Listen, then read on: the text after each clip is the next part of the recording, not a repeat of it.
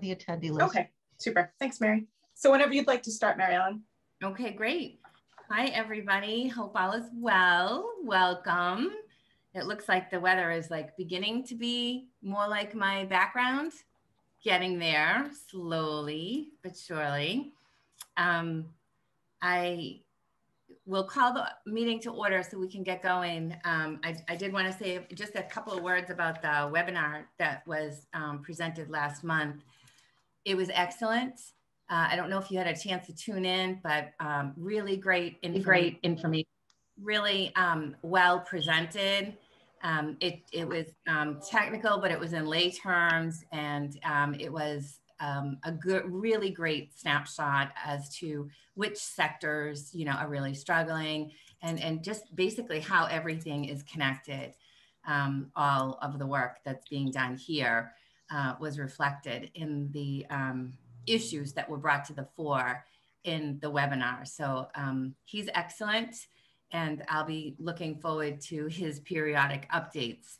Um, I'm not, I'm guessing that the um, webinar we have on recording so that if folks were not able to participate, they can get access to the information or at least the, the presentation, the PowerPoint. Is that correct? Yes, so it is on our YouTube channel right now, um, as well as I'll look and see if it's on our website too. Um, it should be, but I'll put a link in the um, in the chat in a minute once I find it. Yeah, no, it's uh, just as long as people know where to where to find it. I think is the most important thing. Um, so, anyways, that was great, and we'll look forward to um, the continuing updates. And I'm going to go ahead and read the accessibility and non-discrimination statement. Old Colony Planning Council, including this committee, says assure that no person shall be excluded from participation in, be denied the benefits of, or be otherwise discriminated against under any of its programs and activities. This meeting is accessible to people with disabilities and those with limited English proficiency. Accessibility accommodations and language services will be provided free of charge upon request as available. Our full policies are available at www.ocpcrpa.org. Any person who feels their protections have been violated may file a written complaint within 180 days to Mary Waldron at M Waldron, that's M W A L D R O N at ocpcrpa.org or Old Colony Planning Council, 70 School Street, Brockton, Mass. 02301. And um, I believe um, Joanne is monitoring the um, meeting attendees, so I'll kick it over to her for a roll call. All right. Um, so if I call your name, please say whether or not you're here. Well, whether you are here. John Murray? Here. Mary Ellen Brett? Here. Chris Cooney? Deb Petty? Forrest Lindwall? Frank Lynham? Jason Hunter? Present. Jay Patakis sent his apologies, so he's not here. Uh, Jennifer Burke, Lee Hartman, Marlene Amity, mm. Mary Ellen DeFrayis also sent her apologies. She's not here. Uh, Michael Lambert, Pam McCarthy. Here. Pelej Marcelin, Rob May. Here. Rob Downey, Sean Boucher, Sheila Sullivan Jardin, Stephanie Danielson, Tracy Costa, and Val Massard. Here. Super. And then we also have Leah Filson, or Lee, sorry, Lee mm. Filson. And then we've got OCPC staff, Sean Bailey, Joanne Zigmund, Mary Waldron, Lori Muncie, and Dottie Fulginetti. All right. Thanks, Mary Ellen. Thank you. Thanks, everyone, uh, for being here. I'm going to switch over to the meeting minutes that we had from the April meeting. And uh, that was sent out um, courtesy of Joanne in the email uh, noting this um, meeting. So I, I, presume folks have had a chance to review those um, meeting minutes. Does anybody need additional time? Does anybody have any questions? if there's a motion to accept the minute. Oh, oh, hang on just a second. I had a question. You bet, Rob.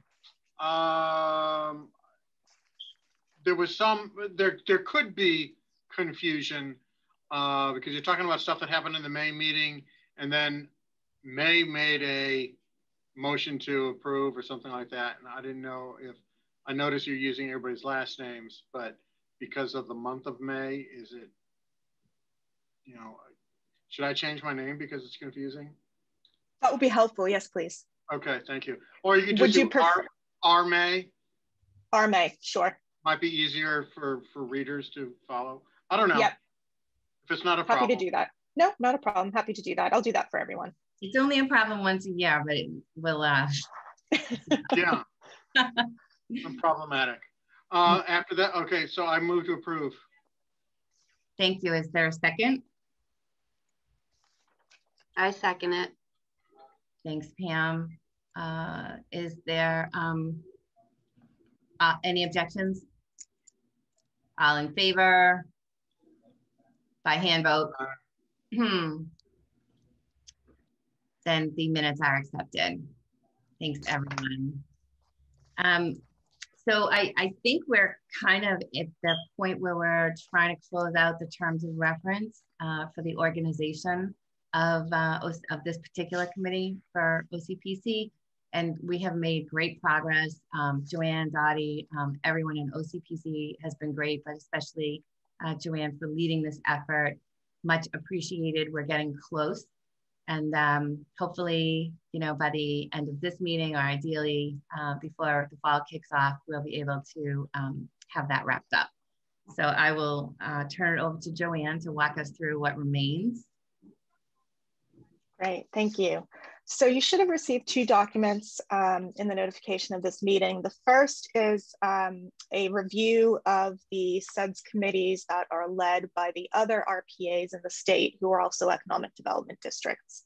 Um, so I pulled together the information that I could find on their website and I also reached out individually to each of them with follow-up questions. Um, as you can see, if you've looked through the document, everybody does it differently. Um, the only similarity really between all of them is that they um, do have a membership that is pretty diverse, both municipalities, um, business organizations, community groups, even some legislators in some instances. Um, but other than that, they're, they're all very much different, ranging in size from, um, I think the smallest one is, I think about 10 or so, or just about a dozen to um, some being pretty huge. Um, MBPC has over 50 members. Um, so um, I did get some information from some of the RPAs after I had sent this out to you. So just to summarize the new information I received. Um, so SRPEDD, their CEDS committee is chosen by the CEDS program manager, which for OCPC is me. Um, he approves the membership and then passes the membership on to the chair um, for the committee to consider. Um, what else did I receive? And then I got some further information as well from FRCOG, so that's the uh, Franklin Region RPA. Um, their quorum isn't a simple majority, but is actually just seven members. Um, and their um, and their committee members are chosen, they're appointed by the FRCOG Executive Committee, which is the Economic Development Governing Board, but the staff do the outreach for it. And then um, they also form a nominating committee under the executive committee to help facilitate that process.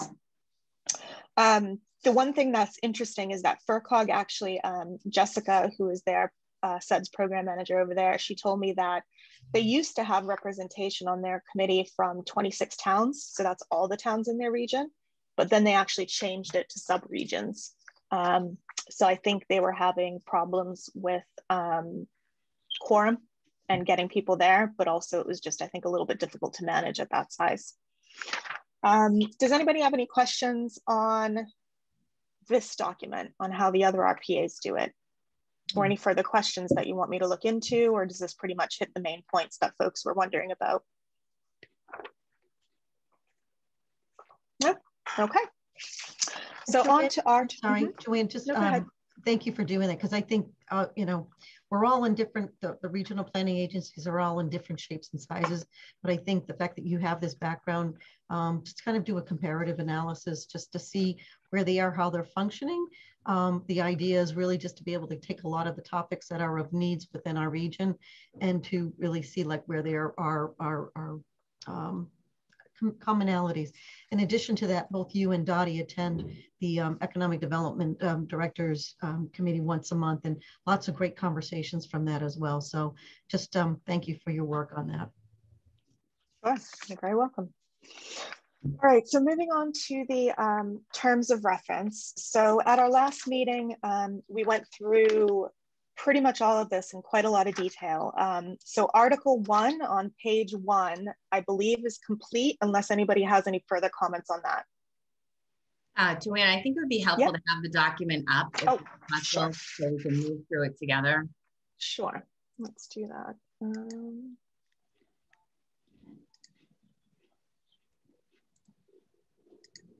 Welcome, Chris. Just want to make sure that he gets um, noted for um, being here. That's great. Thank you. All right, here we go. Everybody sees that okay, yeah? Yes. Okay, so this is um, Article 1 purpose, so our name and authority, the purpose of the committee, and the area that is served, which is the OCPC area. Any additional comments on that? I think everybody was pretty okay with this last time. Okay. So this is where we got, um, we had quite a bit of discussion. Um, Article 2 on membership. So Section 1, um, eligibility and application. Um, we've left it vague um, that anybody with relevant professional experience living in or working within the areas defined who has an interest in economic development may apply to the committee to become a member. Um, we left application vague, so the understanding is that there's no form. Um, it would just be somebody expressing an interest, and then that interest gets passed on to the CEDS committee via the chair or the co-chairs. Um, and then it will be discussed and considered at the committee level and then recommended at that point, um, if successful, onto the governing council at OCPC for a final appointment. Um, any questions on that? I think we were good with that one last meeting. I think we were good with that. Okay, good. And then sections three through um, eight down here, I believe we were fine with those as well. So we're really looking at this section here on membership. Excuse me. So I made no changes to this text up here. Um, so at the moment, we suggested um, that it would be capped at 19 voting members. Right now, our list is about 23. Attendance varied historically from, I think, nine or nine to 12 people generally. Um, but I don't think the membership roster was always um, up to date in terms of who was leaving a town, joining a town, moving on to another place, that kind of thing. Um, so the key decision to be made here is, you know, what is the magic number? How many do we want? And then do we want to leave membership relatively open so we can decide as a committee, you guys can decide as a committee who's actually on it? Or do we want to specify that we want X representatives from municipalities, X from business communities, X from academia? So if you look back at that document on how the other um, RPAs do it, some of them are very open-ended and others aren't. Um, so for example, SRPEDD, um, it's up to Don at SRPEDD, who's the CEDS program manager, to approve the membership and pass it on to the chair. Um, and then for others like FRCOG, they actually do have um, a target number for regional representation from municipalities, as well as some of the other organizations. Um, they're probably the most stringent, um, and SRPEDD is probably the loosest. So does anybody have any further thoughts on that? Um, this is Pam. I actually think we make it much more difficult for ourselves if you have a, a set number from each of those different categories. I think it's it's better um, to have it more open like we've had in the past. Um, and, and the other thing I want to mention is um, as far as the, the number of voting members, can you put something in there that said something like, um, you know, subject to change, um, you know, something that says, I don't know if it's once a year or whenever the, the current voting members decide to, to review it and possibly expand the number or, or make it less, just something to make it more flexible so you can change it if need be. On your second point, there is a clause at the end of the terms. Um, okay. Yeah, that does say that anything can be altered, amended, or repealed pretty much at any time. So I think that clause, yeah, covers yeah. that number definitely. Thanks.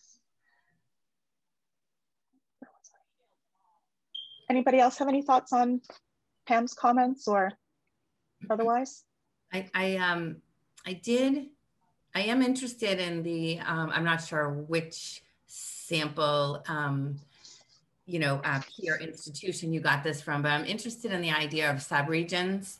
And you know, I I don't have um, you know that I, am not representing uh, you know I'm, I'm, from the higher ed academia side of the house um, not municipalities but I, I, do realize that we you know um, consistently have not had uh, regular attendance from the municipalities um, or many of the municipalities that are in our region. And i'm wondering if um, subregions would make sense um, either as you know a minimum or if not and we just keep it open that we target you know the subregions. We um, you know request that um, there be someone who can um, attend the meetings mary I, I, don't mm-hmm. for discussion Mary, I don't think there are formal subregions in our region, are there? I know MAPC has formalized regions, but no, they're we, huge. We do not. We're only 17 communities, and um, you know, for us to do that really doesn't make that much sense um, unless someone really feels differently. But I think the fact that we've done some analysis about, you know, healthcare is the largest employer, right? And then, you know, we can kind of tail back in terms of the industries, but I'm not quite sure how we would um, divide ourselves.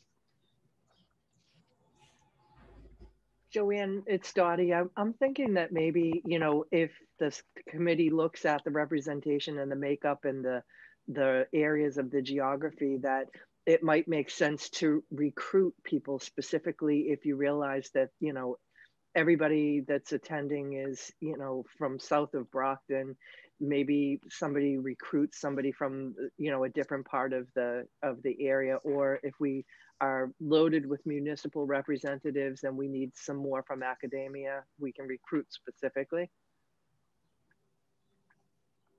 yeah so i think that follows in line with what pam is suggesting so in that case we leave it open but the mm-hmm. committee would identify gaps and then um, ocpc staff could help fill those gaps up with you know, the what the folks at the committee suggested.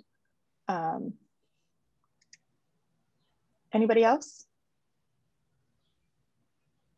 That would, uh, mm-hmm. that, sorry, Joanne, that would mm-hmm. also, um, you know, satisfy sort of my question about sub subcommittees, just in general, in terms of representation, if there are gaps, you know, or if we're feeling that a voice is needed that isn't there. Um, you know, the, the, the, the, idea of um, targeting, you know, um, a, an area or an industry or whatever um, would definitely meet that issue. Mm-hmm.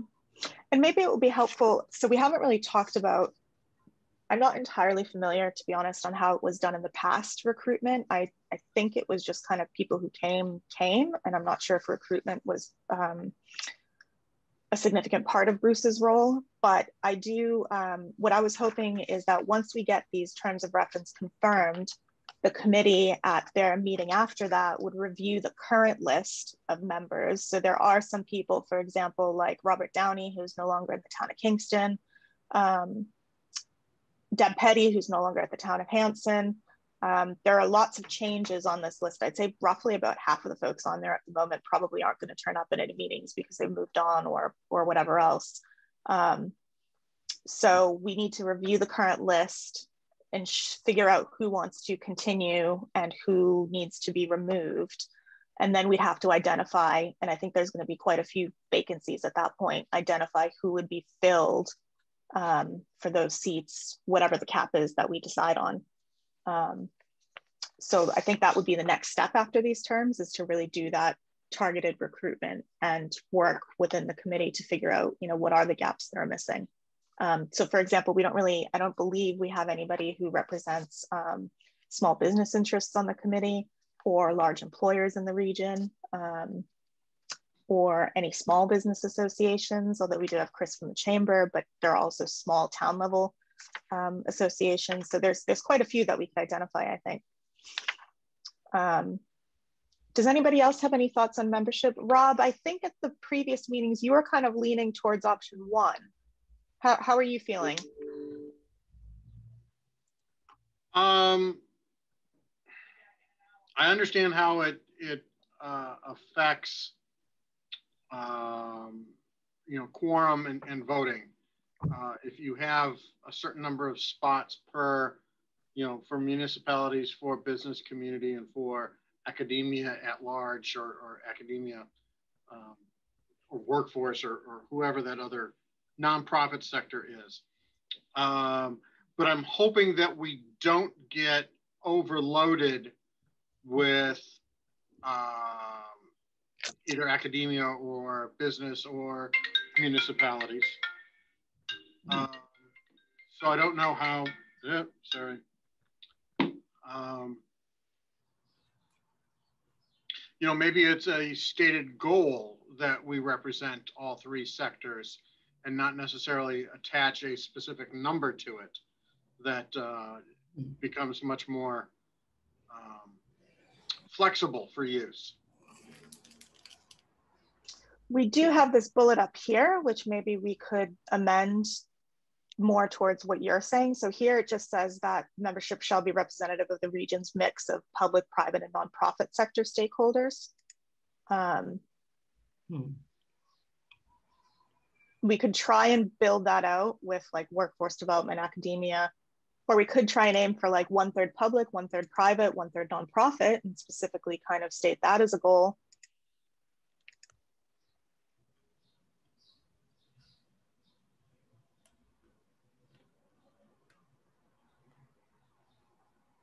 Are we really going to get private sector participation?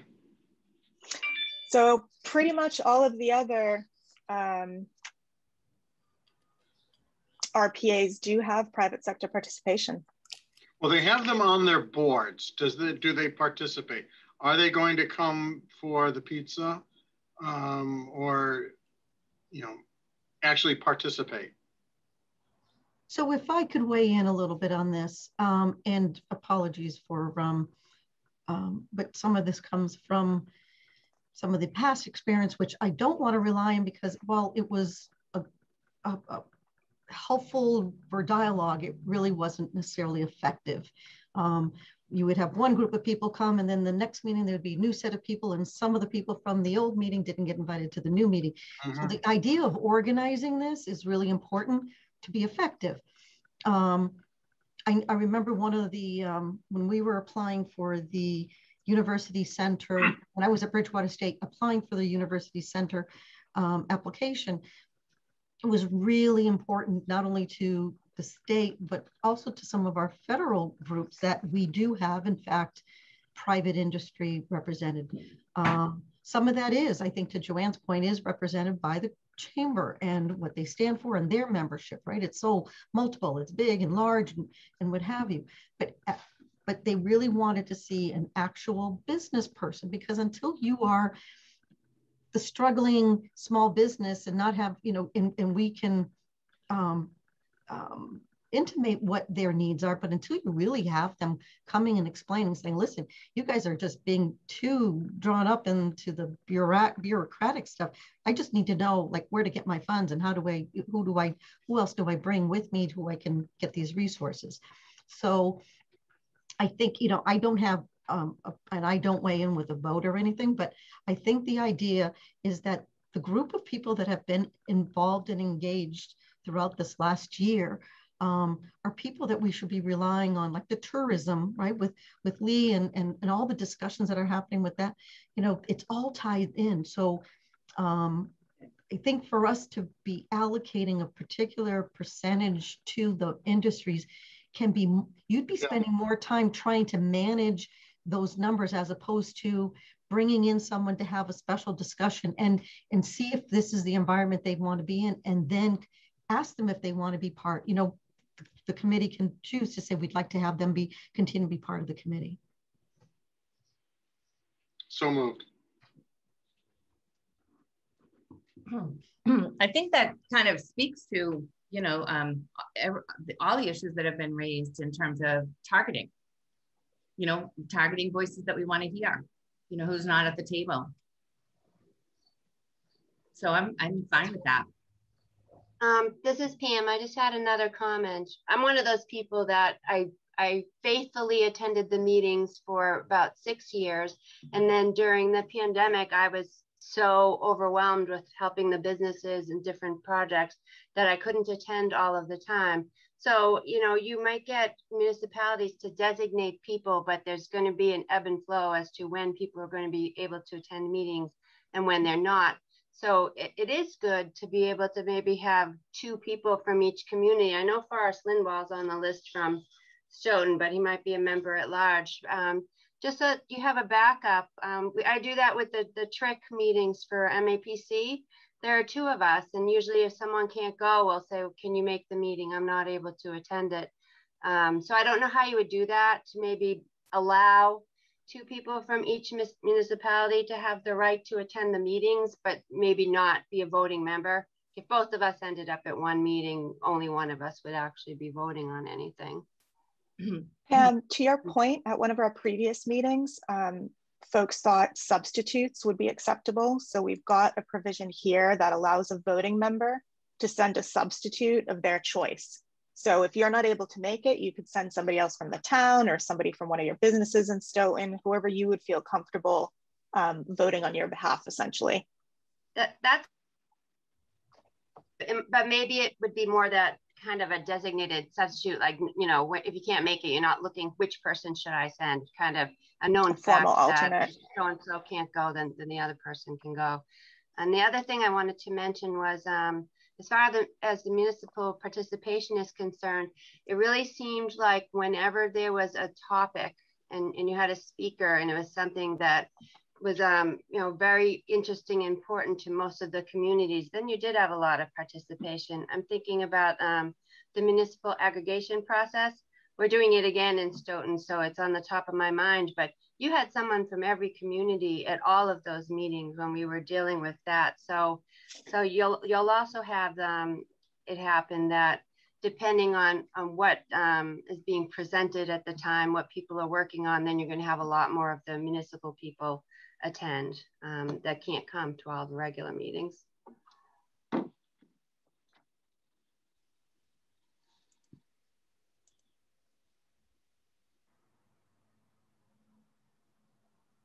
So it seems like the language um, is flexible enough to allow for those ebbs and flows. Um, and certainly Pam recognized that, you know, depending on the issue and depending on, you know, things, massive environmental factors like, you know, the pandemic, um, there's going to be different, different faces, you know, um, who'll need to be able to come and I, I, think that um, you know these are public meetings, they're open meetings, anybody can attend. Um, so I I feel like that's you know addressed in what we've got here. But it's a great point, and I'm glad you brought it up. And also the same thing with the designee. You know, we do have the language. Um, if you can scroll down a little bit, Joanne, just to what you had, what you had just shown. Um, you know, the substitutes. Do you feel, Pam, like that would that that this addresses that? I, I'm just concerned that some municipalities may be so straight out that it would be hard for them to designate two people, or they might be reluctant to do that. But like in my case from Massasoit, if I can't make it, I can send someone. That's no problem. Yeah, I, I guess it could be done internally as long as there's the option to have the substitutes. You know, I can decide that so and so I'm going to ask if they can come to the meetings if I can't, and if another community sends different people to different meetings, then I guess that's their prerogative. So I, I guess the language does cover that.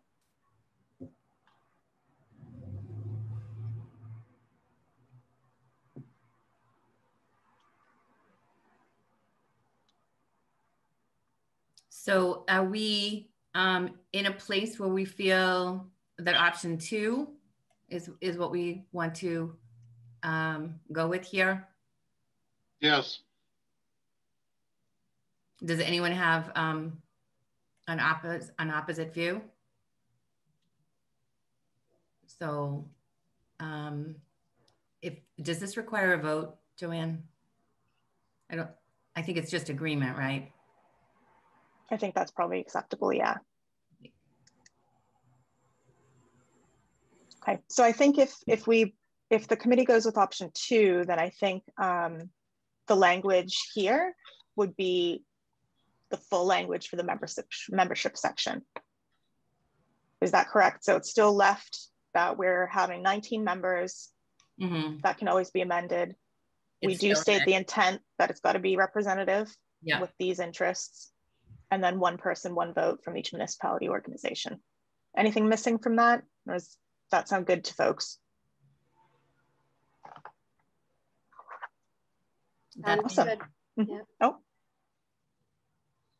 that sounds good to me. Um, and I invite folks if they have any objection to weigh in now.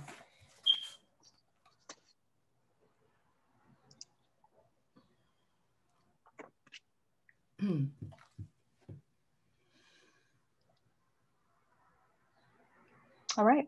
Shall we move on? Is that all right then? It sounds good. Sounds like it. Okay. So um, these sections we discussed previously. Um, stop me if there's anything you do want to say about them. Um, so that moves us on to Article 3, talking about the meetings. The next decision is on quorum. So as you'll see, um, most of the other RPAs, their committees do do a majority. I think in one of the previous versions of these terms, we had suggested that we say nine voting members be a quorum. Uh, MAPC doesn't have a quorum at all um, but their members also don't have voting power. Um, and FRCOG um, states that their quorum is seven members. So I kind of hesitate. So quorum as a majority would be if we have 19 members, that would be what, nine, 10 at a meeting? So we could stick with simple majority, or we can just specify the number seven or nine just simple majority, I think should be sufficient. I agree with that. Okay.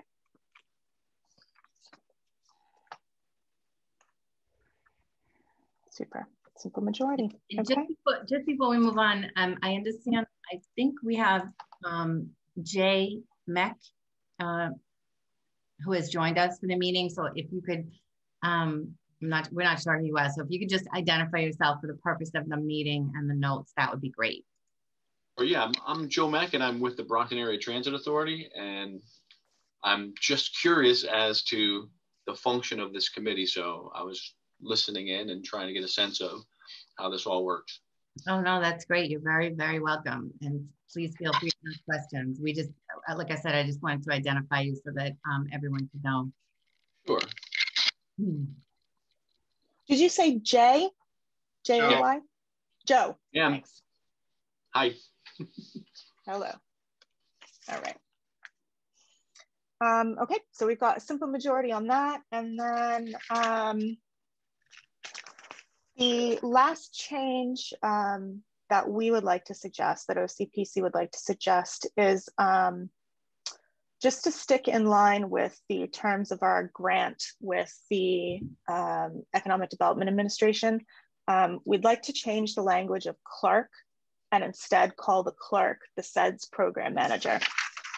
Um, And so the wording here would basically be the same, but it would be the OCPC staff member who manages the CEDS program shall carry out the following administrative duties on behalf of the committee. And then the rest would follow. I'm sorry, Joanne, could you could you um say again what it is what mm -hmm. you mm-hmm. like to change here? Sure. So just to avoid confusion between the grant that we get from the Economic Development Administration and the language in the, these terms, hmm. what we're proposing is that we change the word clerk and actually call it the OCPC, um, sorry, the CEDS program manager. So this language would then read um, the OCPC staff member who manages the CEDS program shall carry out the following administrative duties on behalf of the committee. I, I think that sounds appropriate, Joanne. It just it it's more of an identification of the role and what you do to make these meetings happen. So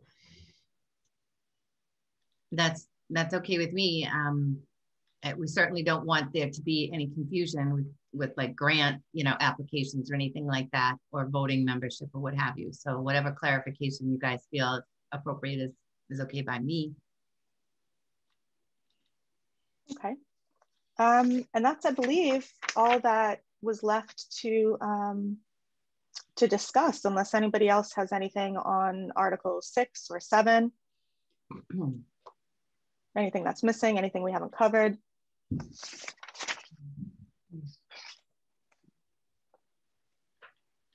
Okay, so at this be mm-hmm. adopted by the OCPC board at their next meeting.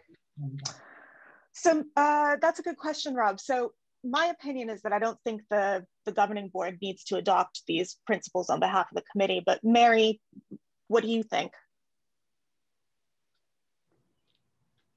Oh, you're muted. I, yeah, I, it's, it's kind of like how I felt with this head cold. I'm talking to myself. Um, I mean, in terms of all of this, uh, I mean, to be brought up at the next meeting, part of me feels like this conversation today really has put us in a good stead. Um, mm. What's what's the the mindset behind that, Rob? Well, I didn't know if if the the larger organization was going to approve this, or if the committee was going to approve this, because technically we don't have a committee according to this charter because the the board has not voted on us being representatives. So here's my suggestion, just because we've got lots of, I think you're to your point, I think it, there's circular. a timing issue, but I would say, I think this committee should vote on this um, with as a maybe more of a, of a, of a recommendation. I think Joanne, maybe we prepare a resolve for the council to have these be presented. Um, but have you know have them be effective upon the Old Colony Planning Council's adoption.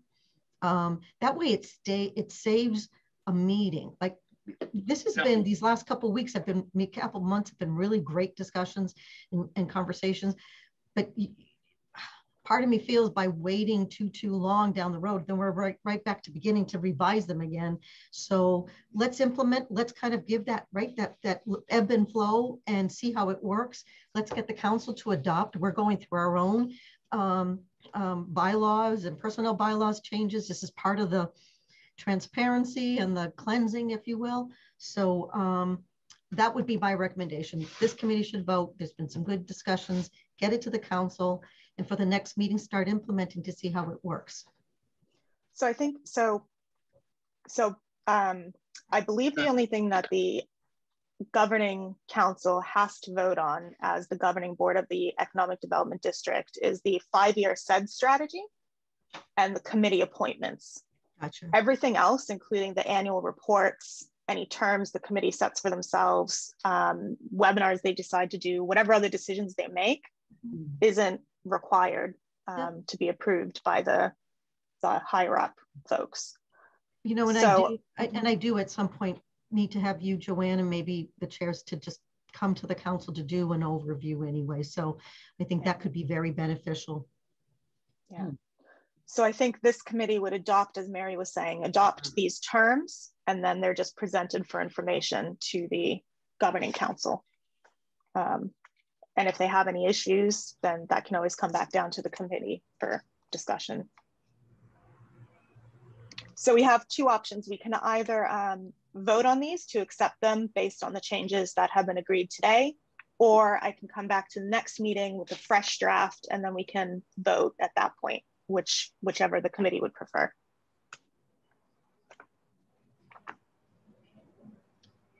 Uh, not not to belabor anything at all, and I, I I think this looks really good, and I'm I'm really I think it's great, but I I do think um, a final draft is necessary, um, you know, for people to have a final look, and um, if it's going to be something that we you know forward up, um, you know, for sharing with the governing council, that it it should be the final draft.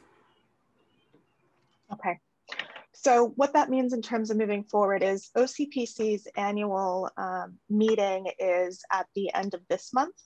Um, so I'll reach out to everybody individually who's currently a member to confirm that they'd like to continue as a member. And we'll present those names at the annual meeting for them to, um, for the governing council to vote through. And then at our next meeting, um, assuming the final draft is voted on and approved, I'll have an, a better idea or I will know how many vacancies there then are. So we can then start identifying um, who we want to target or what interests we want to target for those vacancies. That sounds like a good plan. I like it. Okay.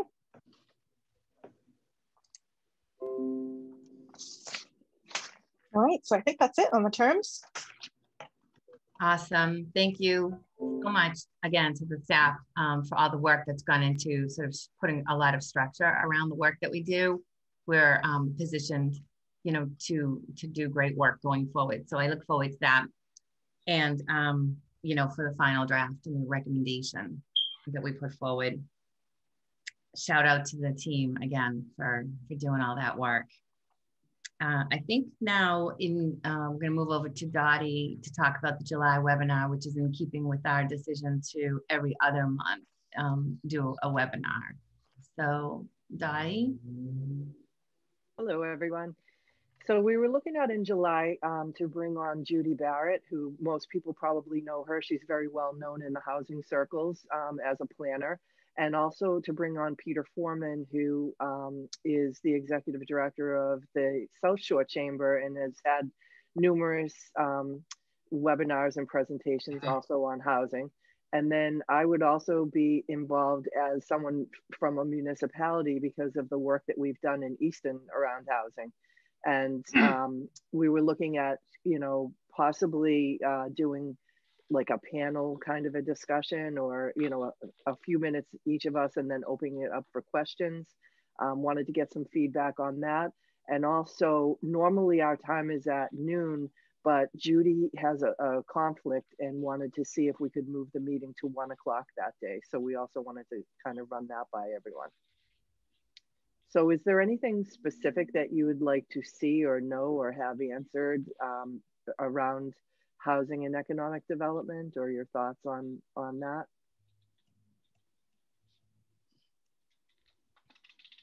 A really good workshop on 40B last night that I went to for the CPTC right. group. Um, I think I think knowing maybe what other communities in the region are looking at doing. Um, are there regional needs for housing coordinators? I know like Kingston's looking for some um, partnership with housing to try to track it and improve on it. Um, and uh, I guess I'm wondering how much locally we need to focus on housing in terms of um, getting funds. You know, is there anything we can be doing as a region to secure funding? Is there reporting we need to do that or resources that we aren't tapping?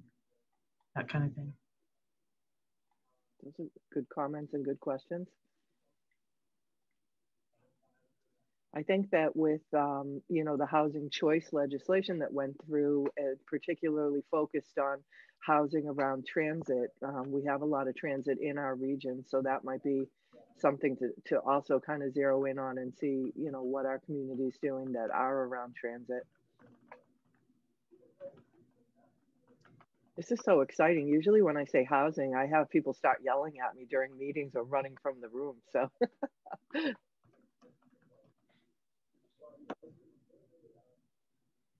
All right. Well, actually, Dottie, to that point, and I don't mean to you know, rain on your parade because it's all you know, it's all good. Um, but I'm wondering if the presenters can touch on you know what the not only what's happening with with housing but what um, you know barriers they're facing. You know i think that would that would sort of help everybody understand it a little better. I think we probably know this group to some extent what the needs are but maybe not necessarily what the um, challenges are. Sure. That's excellent point um, this is Pam. I, I, also think maybe we can touch on um, the, the, difficulty of the first time home buyers getting into the market now with the with the prices being astronomical for, for the houses. Um, I mean, it, it's it's unbelievable how much they're increasing every single month. So maybe if we could do something with assistance that we could maybe lend to the first time home buyers, because I get calls at my office all the time asking if we have any type of program in place that could help them with a down payment. Um, I know that um, that they, they, they did have a program um, somewhere in Brockton. Um, I'm trying to think of the organization right now, but um, we didn't have anything locally. So that's, that's one thing I think people might be interested in. Okay, great. Anyone else? All right. That sounds good, Joanne. All right. And I think we're okay. Everybody's okay with 1 p.m. Super. All right. So we'll send out info for that soon.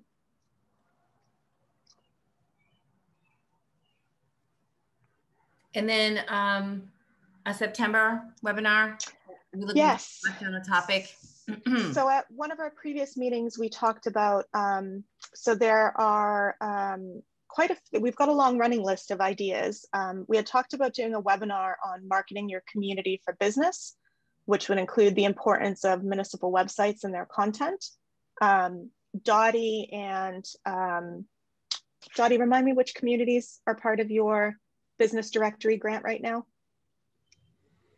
Avon, Brockton, Easton, and Stoughton. So we'll have some experience with business directories and municipalities um, and a few other things. So we thought that could be a good webinar topic for September, unless anybody else had any um, suggestions for something that's maybe more urgent to present on. Hmm, I think that we talked uh, at some point recently, maybe at the last meeting when we, or whenever we were generating this list of ideas about um, workforce development um, and given the state of the economy and um, you know trying to get people urgently back to work um, you know there's a lot of federal funding coming down the pike um, for workforce for it, higher education even for k through 12 i don't know you know if we, we if we want to put that in you know somewhere uh, if not for the september maybe for the one after that. But it does seem rather urgent you know, and if I can piggyback on what Mary, Mary Ellen said, you know, we've we talked internally, Joanne, about water and its role as a resource for economic development. Um, the whole climate change is a piece where lots of funding are coming down, and one might think, well, what does climate change and we having longer, warmer days have to do with economic development, but it has everything to do with it. So um, I, you know, I'm looking at Val not, as well because I know that there's a number of communities that have also brought this up. So where it falls, I think this is where the vetting of conversations with when we bring new people in all the time, you know, Joe is on this in terms of transportation, right? Access to jobs and access to um, education is, is going to be critical now that the colleges and universities are coming back. So um, anyway, those are my two cents.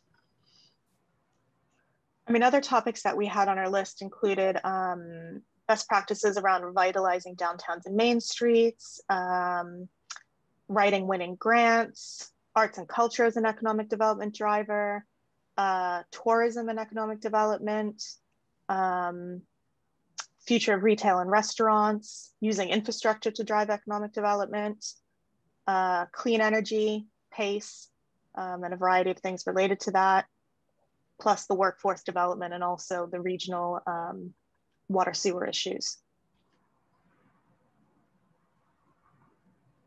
So it sounds like the two contenders for September are marketing your community for business and workforce development. So whichever the committee would prefer is what we'll go for.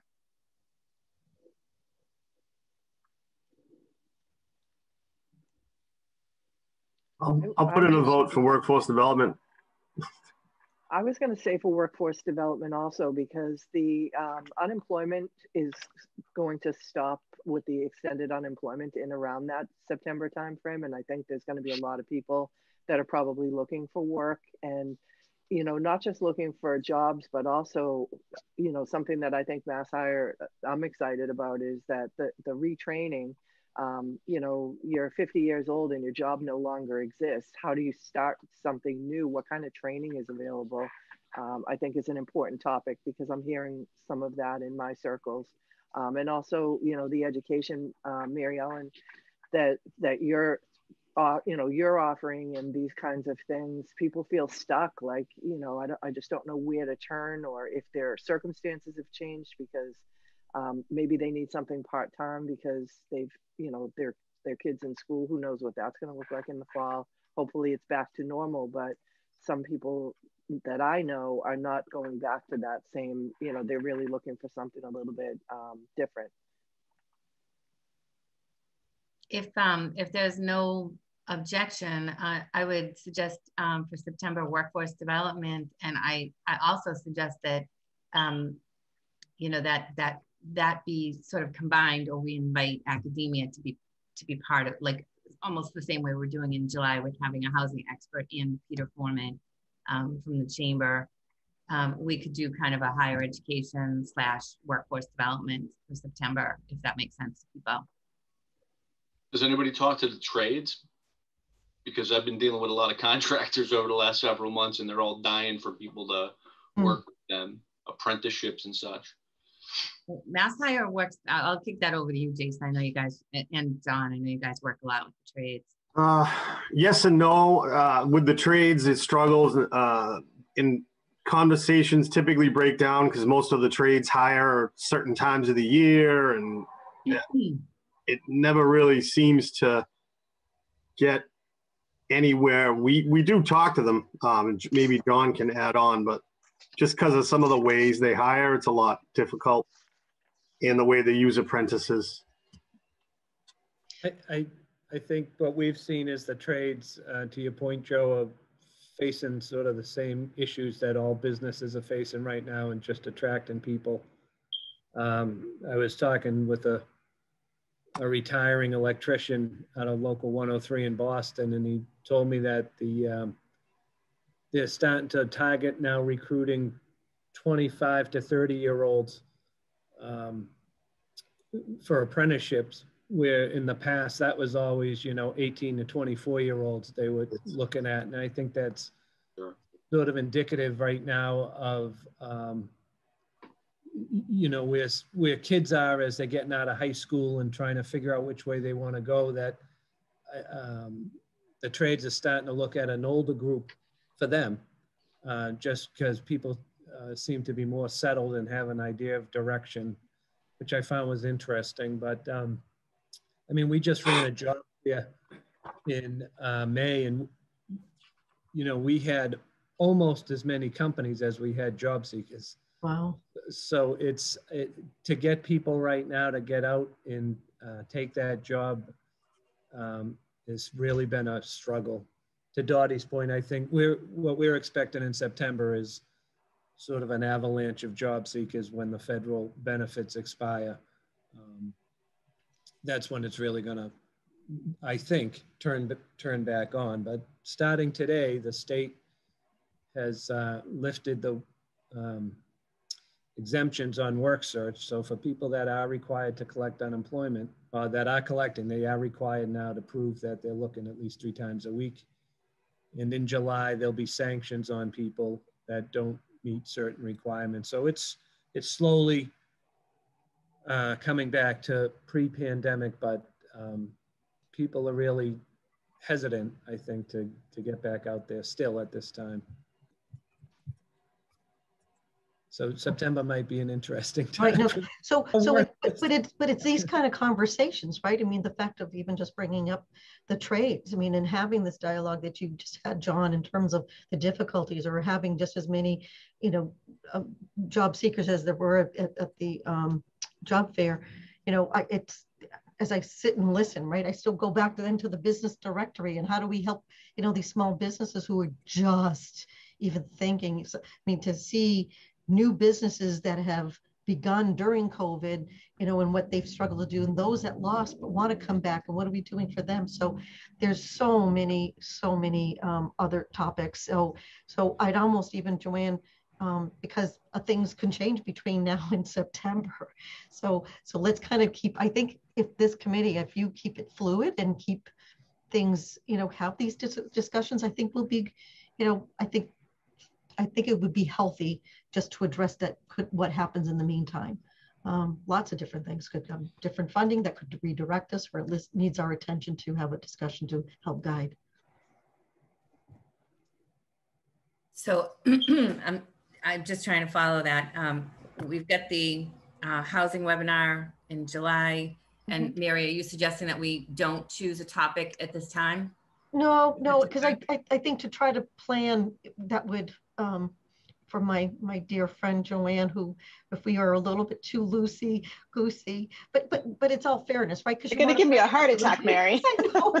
I was like, she's gonna like, good thing she's remote, but, it- but I do think, and I apologize for sounding like I'm over um, stating the idea to be flexible, but let's plan for that workforce. I think there's, it was pretty conclusive out of everyone to do that but maybe do you need the whole hour? Or maybe that we tack on a little bit about hey what's that small business? Or what about that the, the trades? And having a little bit more discussion than what we're having now um, just to be a little bit prepared not to have the whole meeting. Um, i'm looking this way because that's where my joanne is is on my screen but not to have the whole meeting. But you know this is healthy to have um, from someone from academia like yourself mary ellen as well as the workforce and and all the others. So it's um I, I I'm encouraged by the discussion. This, So this what is I'll going do to be is a I'll- webinar, right, Joanne? I- Yeah, it this is a a webinar or a meeting?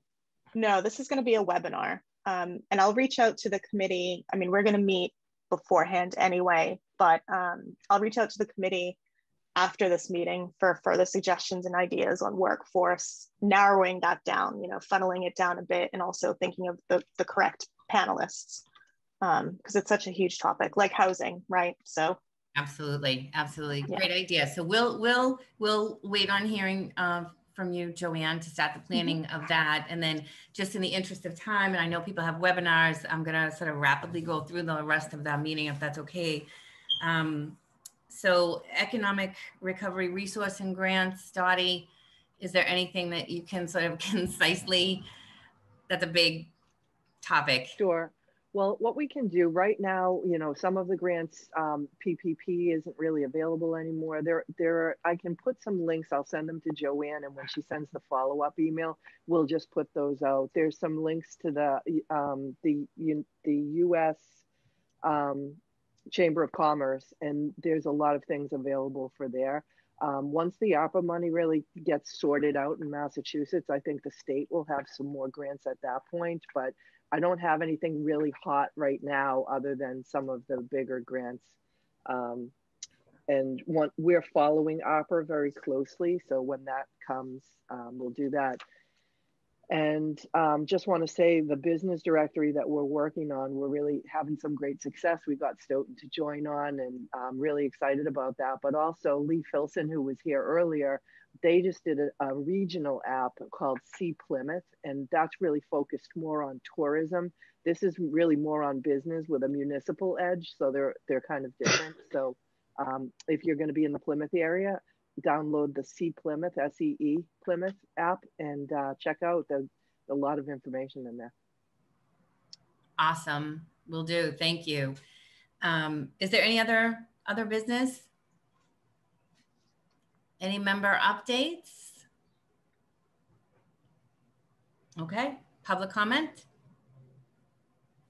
Awesome. So the next meeting is um, August 7th at 12 noon. Um, other than the webinar that will be coming in July. And um, we'll watch for the information to flow that this was a great conversation, everybody. Thank you so much for joining. Have a great rest of the day. Bye. Bye, thank you.